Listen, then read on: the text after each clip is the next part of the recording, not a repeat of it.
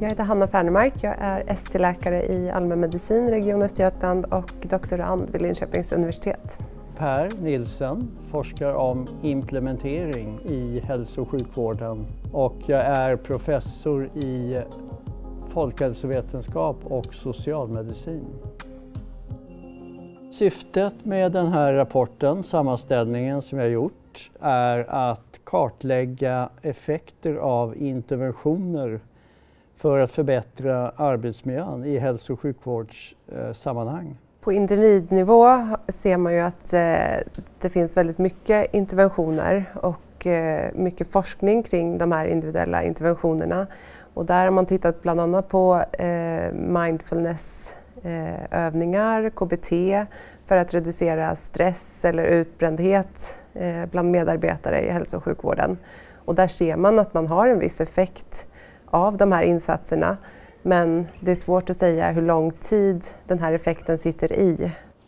Organisationsinriktade insatser har ju då ett fokus på hela verksamheten, att försöka förbättra förutsättningarna för individernas eh, hälsa och välbefinnande. Det kan vara att man ändrar schemaläggningen, eh, tidsplaneringen av arbetet. Sådana förändringar som då påverka alla medarbetare.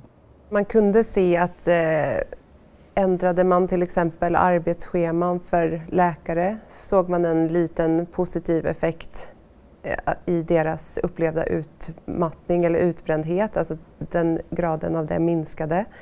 Eh, bland sjuksköterskor så kunde man också se att eh, arbetstillfredsställelsen ökade och att man kände sig mindre stressad när man gjorde en organisatorisk intervention. Vi tycker det är svårt att hävda att den ena typen är betydligt mer effektiv än den andra.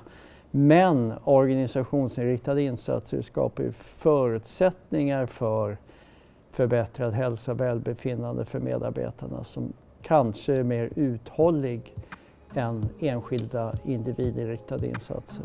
Det man kan säga är ju att det är viktigt att medarbetarna får vara med och påverka, alltså delta i eh, sitt, i sin arbetsmiljö eh, och möjlighet att påverka. Och tillägg motivera, förklara rationellt varför vissa förändringar behövs.